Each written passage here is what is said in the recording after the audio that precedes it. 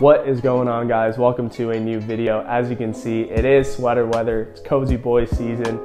Um, but the topic of this video today is going to be about scanning film negatives with a digital camera. So if you guys have been watching since the vlogging days of this channel, you'll recognize Dan, he's one of my best friends, but he has this home scanning setup with his digital camera, and that's what we're going to be doing today. Um, he's in the process of converting a lot of old family photos and scanning the film negatives with his camera. And so I thought it'd be really interesting to uh, compare the results that I get from the lab that I go to, Downtown Camera, versus this kind of home scanning method with Dan's digital camera.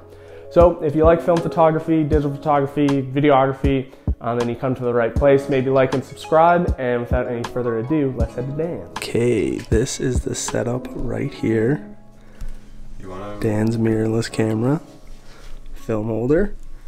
Mm, my phone is a light source. Let's do it macro lens.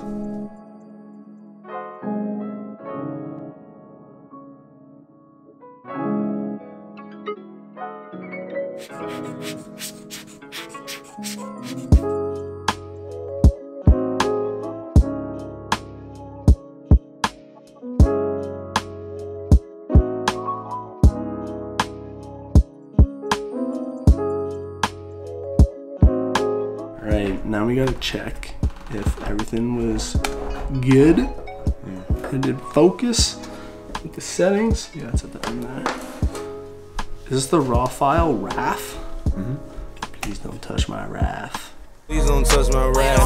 Please don't touch my RAF. I'm gonna take these back home and edit them all, but the initial difference that you see is crazy. So much more detail with like literally a raw photo scan and uh, pretty stoked because the photos look kind of a lot better. And the one thing that I noticed that I said to Dan was that all these like guys that I watch on YouTube, like Vuhlandes and Willem, uh, Shot by Shingy, like they all scan a lot of their own photos too. And the photos now that I took look a lot more like theirs in terms of like the colors and stuff than they did when I just got like the regular JPEG scans from uh, the place that I go to get my film developed. So that's kind of cool too, but uh, a fun process. Got this set up so you could scan a bunch of like old family photos and stuff with like the negatives.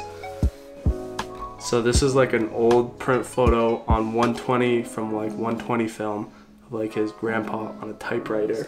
And look at the the photo negative. Just put it tiny.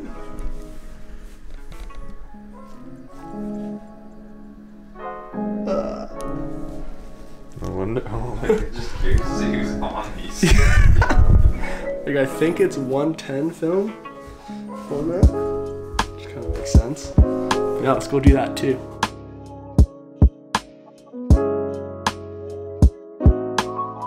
We are back in the studio. It was actually a lot of fun taking uh, the scans, I guess, of the negatives and kind of converting them and seeing uh, the results.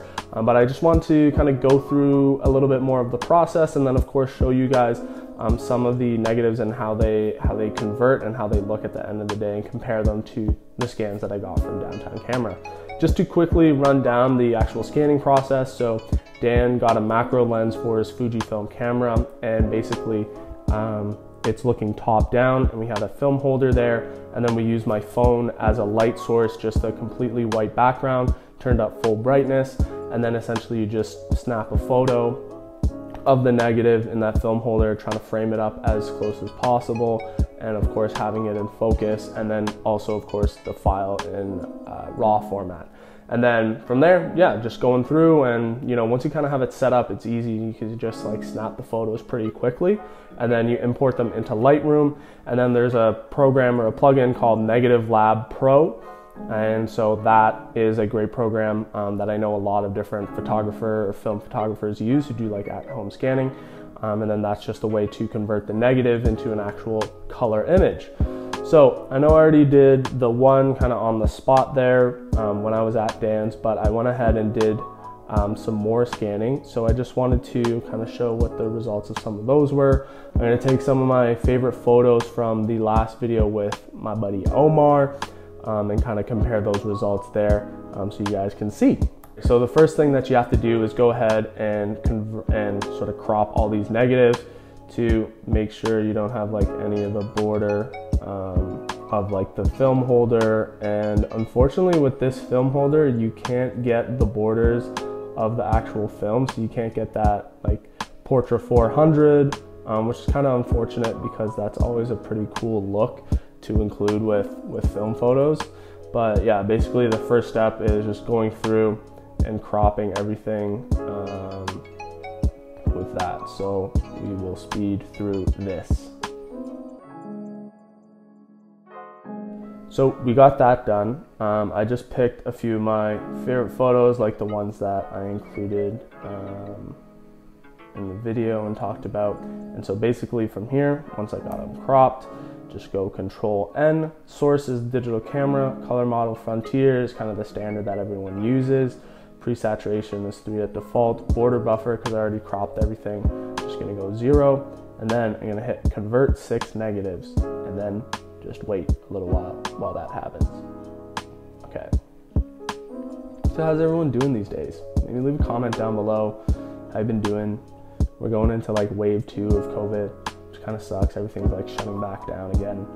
Um, but yeah, I'm just trying to get out there, take some nice photos, enjoy the fall weather, uh, you know, sweater season, hoodie season, sweater weather.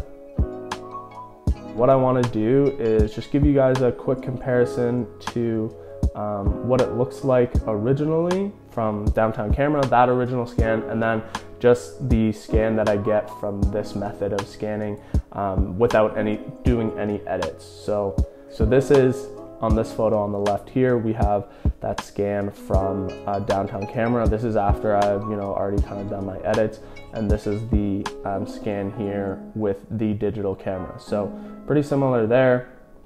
Um, definitely have to make some adjustments because Omar's face is like is pretty red. Um, so I'd make that adjustment there. This definitely looks a bit more red as well. Probably bring that back down um, for the skin tones, but I really like and this is what I noticed in that first photo as well, how the blues turn out, especially in the sky. Like I said earlier, it kind of reminds me of some of like Vuhlandes's work and like how his photos look um, once they're scanned. But another thing that I definitely notice as well, it's definitely sharper, which kind of makes sense uh, because you know this is a JPEG scan versus like a raw image file, and then also definitely some more detail. Like in this comparison photo here, if we're comparing um, like the face, there's definitely some more detail like on this left side of his face. It's kind of a bit more shadowed and this is definitely a lot more even um, in the scan that we did with the digital camera. Um, but what I'm gonna do is I'm gonna post uh, the comparisons between the final scan from downtown camera and my edits with them and then the final scan with my edits from the digital camera.